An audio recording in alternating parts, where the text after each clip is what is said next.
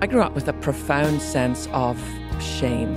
And to me, guilt tells you you've done something wrong, but shame tells you you are something wrong. And I think that's much more profound. Sheila Walsh had a nervous breakdown on national television. Years of hiding her struggles and secrets led her to almost lose everything. I determined that I would be the perfect Christian woman if it killed me, and it almost did. I've carried it around and I've hid it from the light and I've learned how to smile and pretend I'm alright, but I'm tired of running and I'm tired of the pain. It's the wounds we deny that drive us insane. That's Sheila singing about the wounds from her past that almost drove her insane. But she found healing and a brand new life through a restored relationship with Jesus Christ. Sheila Walsh is our guest on this episode of GPS God, People, Stories. It's an outreach of the Billy Graham Evangelistic Association, celebrating 70 years of proclaiming the gospel. I'm Jim Kirkland. And I'm Phil Fleischman. Sheila was one of the key speakers with the Women of Faith ministry for nearly 20 years. She's also an author, a Bible teacher, and a TV personality. During the lowest point of her life, Sheila cried out to God in prayer. And later in this episode, Billy Graham will talk about the importance of prayer. America is caught up in a stream of history that is beyond her ability to control. There's only one power available to change the course of history, and that is the power of prayer. Prayer is exactly what Billy Graham's son Franklin Graham is focusing on during these tumultuous times. In fact, he's holding a prayer march in Washington, D.C. this weekend. On Saturday, starting at noon Eastern Time, Franklin and others will make their way from the Lincoln Memorial to the U.S. Capitol building. They'll be praying for God to heal the brokenness in our country. This event is called Washington Prayer March 2020, and you can be a part of it. You're welcome to join us in Washington, D.C., and it will also be live streamed. Wherever you are, you can be part of it. You can watch it and pray along with Franklin Graham by going to prayermarch2020.com. Again, that's prayermarch2020.com. It is happening this Saturday, the 26th, 12 noon Eastern. And if you need a link to it, there's a handy one in the show notes. GPS. God. People. Stories. I was born in Scotland to a mum and dad who really loved Jesus, which would not be unusual in America. But in Scotland, where less than 2% of our population even went to church, to have a mum and dad who were very committed to Christ was such a gift. I was very much a daddy's girl. I, I adored my father. But Sheila's father suffered a massive brain injury when she was just five years old. After the injury, his personality changed dramatically. The last time I ever saw my dad alive was turning just in time to see that he was about to bring his cane down on my skull. And he was taken off that day to what was called our local asylum. It would be like a psych hospital nowadays. And he managed to escape from there and took his own life. He drowned himself in the river behind the hospital. That tragedy shaped Sheila's life for years to come. You see, she felt personally responsible for her dad's anger, and in some ways for his death. As a child, I think you take in a lot of information, but you don't process that information very well. What I couldn't understand was what did my dad see in me that made him hate me so much? And I felt so responsible for the rest of my family. I felt as if I'd brought the house down on all of us. My mom no longer had a husband, my sister and brother no longer had a dad. So I grew up with a profound sense of, of shame. And to me, guilt tells you you've done something wrong, but shame tells you you are something wrong. And I think that's much more profound. Eventually, Sheila would start the process of healing from that misguided shame, but it didn't happen overnight. The first step on the journey was when she was 11 years old. My mum took me to hear Scotland's only gospel group at the time, a group called the Heralds. And the evangelist, Ian Leitch, at the end said that God has no grandchildren, just sons and daughters.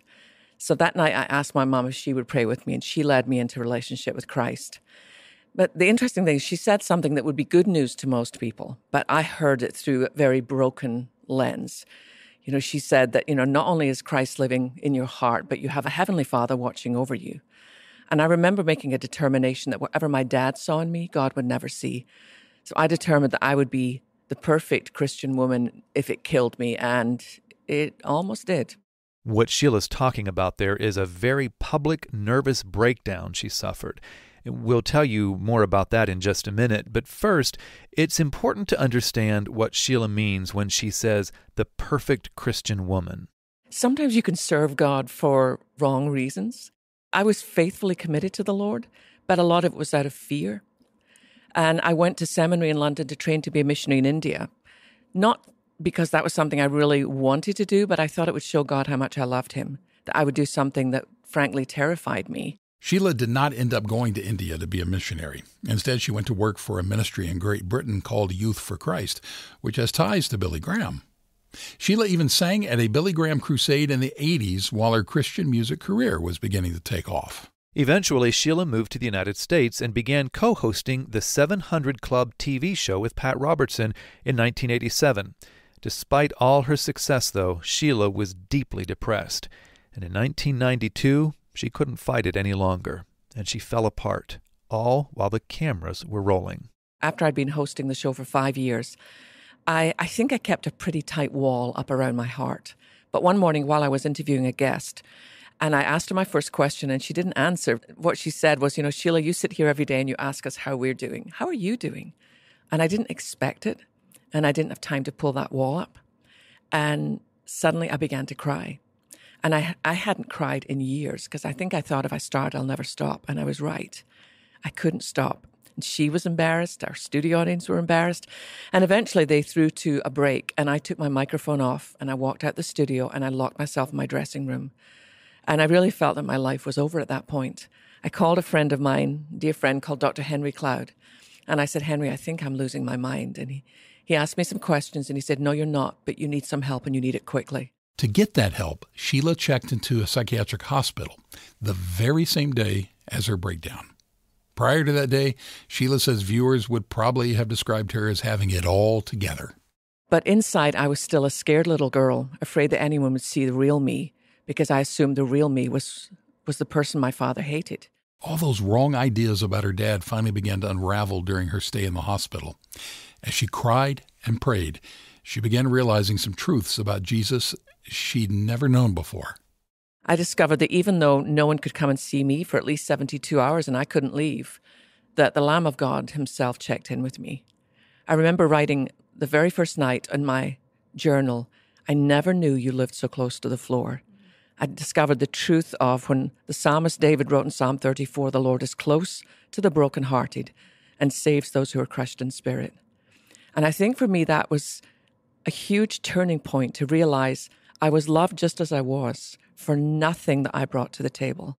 Sheila was in the hospital for about a month, and toward the end of her stay, the staff encouraged her to go do something outside of the hospital to help her begin transitioning back to what her normal life would be. I was told I could go to a movie or a mall, and I said, No, I would just like to go to church. It doesn't matter what denomination, if it's a Bible believing church. So on that last Sunday, a young nurse took me to a church. I don't remember the whole sermon, but I remember the pastor saying, Some of you feel as if you're dead inside. And he said, But I want you to know that Jesus is here. You don't have to get yourself out of this hole, you just have to call on his name.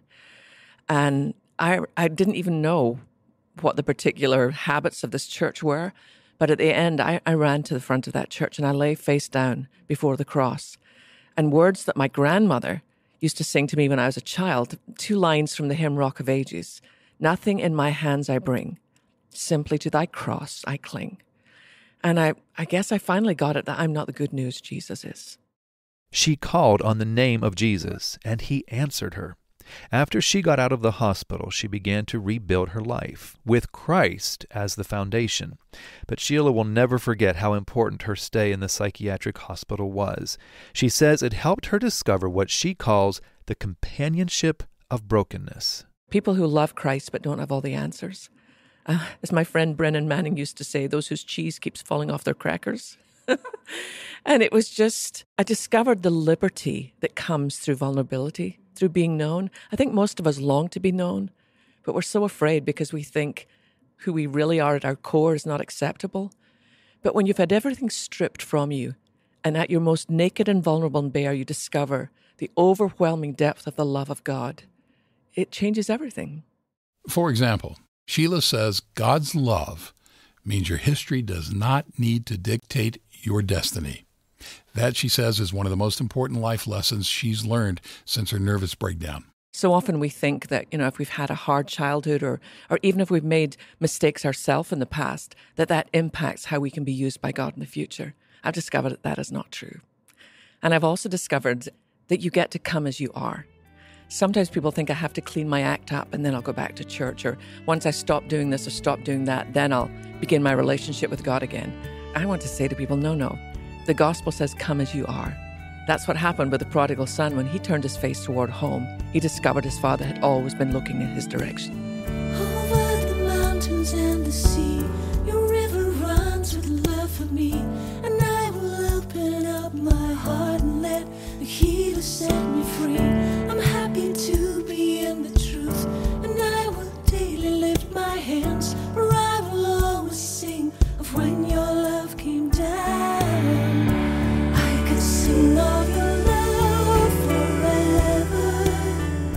God loves you, and He's ready to begin or restore a relationship with you right now.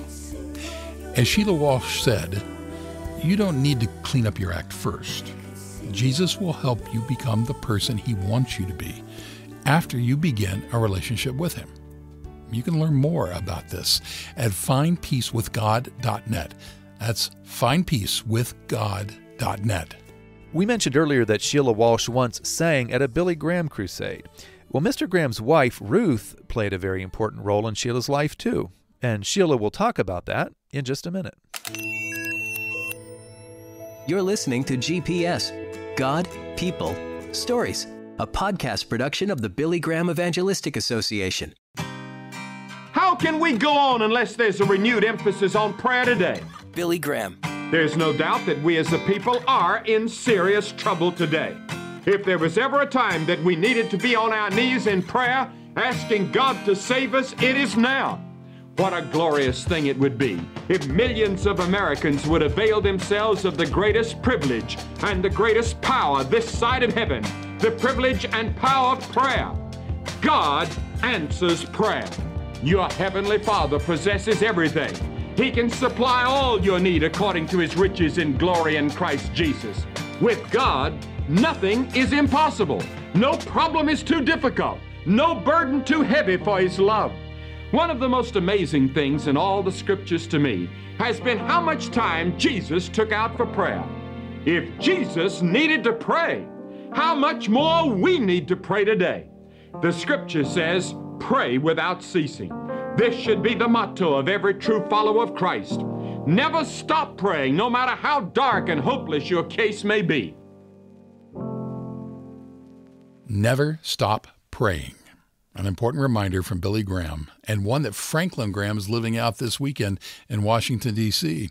We want to remind you again that Franklin is holding a prayer march this Saturday on the National Mall beginning at 12 noon Eastern. He will be asking God to heal our country, and he will be joined by thousands. You can join too. You can watch on your live stream or join us in D.C. The website for all the details is prayermarch2020.com. Our guest on this episode of GPS is Sheila Walsh. She remembers a time when she was in crisis, and Billy Graham's wife, Ruth, shared the hope of Christ with her. It was right after Sheila was released from the psychiatric hospital. Ruth Graham invited her to spend a couple of days with her at the family home in the mountains of North Carolina. We sat by the fire and drank tea and talked. She gave me a book that I treasure to this day. It's called Beside the Bonnie Brier Bush. It was written by a Scotsman many years ago, and it has these wonderful stories of of redemption. But that evening, when it was time to go to bed, she showed me my bedroom, and then she made me a cup of tea and brought it through, and she said, "May I read to you?" And I can remember thinking, uh, it just was one of those moments in my life where I thought, sometimes you get to meet Christ in flesh and blood. We, we know that no one takes the place of the Savior, but sometimes someone ministers his love in such palpable ways. And that's always what Ruth has been to me just a physical expression of the love and mercy of God. What a touching story there from Sheila Walsh, and we appreciate her sharing it as well as the rest of her story here on this episode. She also let us use some of her music, so thank you for that too, Sheila. And thank you for listening. I'm Phil Fleischman. And I'm Jim Kirkland. GPS God, People, Stories is an outreach of the Billy Graham Evangelistic Association. Always good news.